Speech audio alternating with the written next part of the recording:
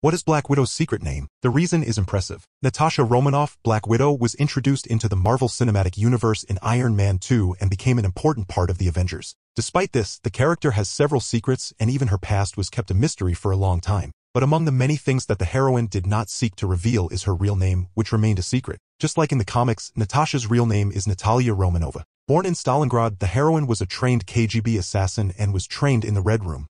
When deciding to leave this life, the character had already made several enemies, so she decided to change her name to Natasha Romanoff, which is not very different, but allowed her to have a new start, being recruited as an agent of S.H.I.E.L.D.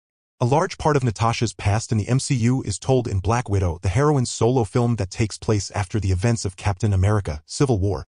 The film introduces important characters to the character's life, such as Alexei Shostakov, the Red Guardian, and Yelena Belova who currently has the mantle of Black Widow in the cinematic universe after Natasha's death. The two characters introduced in the Black Widow film will be present in Thunderbolts, joining the Winter Soldier, Taskmaster, Ghost, and American Agent. The film is scheduled for December 20, 2024, and its production is currently on hold due to a strike by writers and actors.